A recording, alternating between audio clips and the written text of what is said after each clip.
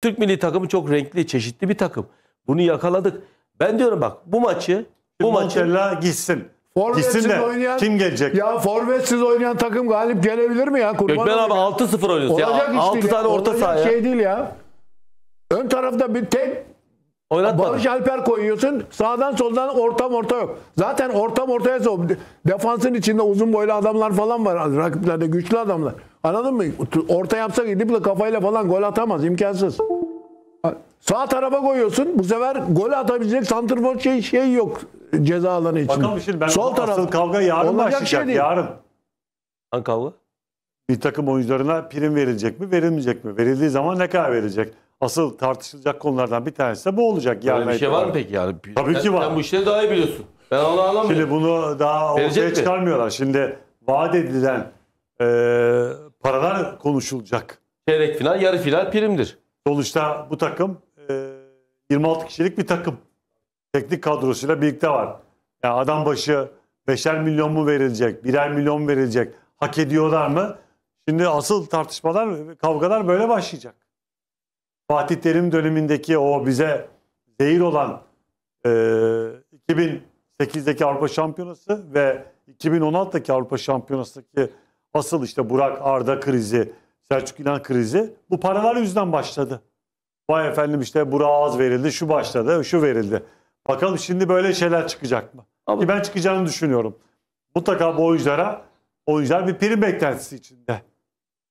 Yarın öbür gün yani bunlar şimdi ülkeye döndüler. Hepsi tatiline gidiyor. Hemen şipşak tatiller yapılacaklar. Yapsın tabii. Ve ondan sonra herkes koy- takımına Çey- Çeyrek gidecek. finalde elenmişler abi. Yani olacak şey değil. Ne Yani ya? Montella'nın olmasıyla birlikte beni en çok mutlu eden konu milli takımda şu ana kadar e, bir prim pazarlığının para mevzusunun konuşulmamış olması beni son derece Ya mutlu bu da etti. güzel bir şey. Evet. Evet.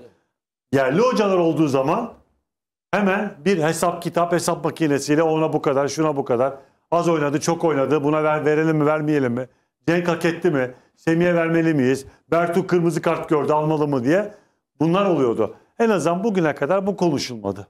Ama bu takımda bunu konuşacak çok da oyuncu yok.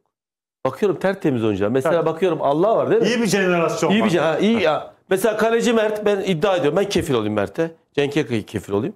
Bu parayı konuşmaz. Benim tanıdığım çocuk. Semih'e kefil olayım. Tamam. Konuşmaz. Mesela sen kime Hamit kefil Altıntop mesela yarın federasyonun kapısını çalıp Büyükekşi'nin bir takım çeyrek finale kaldı. Avrupa'da işte en büyük 8 ülke arasına girdi. Benim primim bu kadar diyecek mi mesela? Soruyorum buradan. Hamit Evet. Altıntop yarın bu hafta Sen böyle bir duyum mu aldın? tabii ki duymalı. Ha, sen- Büyükekşi'nin Duyum. ve federasyon odasına gidip orada federasyondaki odasına gidip evet artık primleri de konuşalım. Oyunculara Montella'ya ne kadar verilecek? Ben ne kadar almalıyım olayı tekrar gündeme gelecek arkadaşlar konuşulacak. Bekleyelim. Serhat, Serhat şimdi şöyle bir şey var. Bu burada Montella bilmiyorum tabii. Montella bu konuda e, futbolcularla konuştu mu konuşmadı mı onu da bir e, net olarak bilinmiyor bu. Anladın mı? Yani burada gidip de bu saatten sonra gidip de işte Bu se- konuşulmadı. sekizde- Şimdi Sadece Hamit Altıntop tarafından başlar- futbolculara vaat edilmiş sözler var. Hmm. Hamit etmiş. Hamit'in siz takımı bir noktaya getirin gerisine karışmayın diye. Ama karışmayan adı ne işte? Ne yani değil mi? Ha, şimdi Para mı? artık- Araba mı? Ha, artık adını koyma zamanı. Ev mi? Altın mı? Bittikten sonra bittikten sonra yani çeyrek finale kalmışsın yahut da ne bir yarı finale kalmışsın. E, tamam kaldığın zaman başarıdır. Ya, ya- yarı finale de kalsan çeyrek finale tamam başarı. Ama maçlar başlamadan önce, turnuva başlamadan önce daha önce oturulup konuşulmuş mu? Çeyrek finale şu vereceğiz, yarı finale bu finale şunu vereceğiz, kazanırsanız şu diye öyle bir gö- şey olmuş mu? Vaatlerde bulunmuşlar mı abi? Vallahi sonradan kadınlarımız, sonradan voleybolcu kadınlarımız e, dünyada almadı, kupa bırakmadı. Ama onlar çok e, mütevazi rakamlarla şampiyonluk olarak ödüllendirildi. Yani yok denecek kadar az. Hepsi bayrak için, ay yıldız için mücadele etti. Hala da şimdi olimpiyatlarda bir ay sonra edecekler. Şimdi futbolun olduğu yerde tabii para büyüyor. UEFA'nın e, verdiği rakamlar var.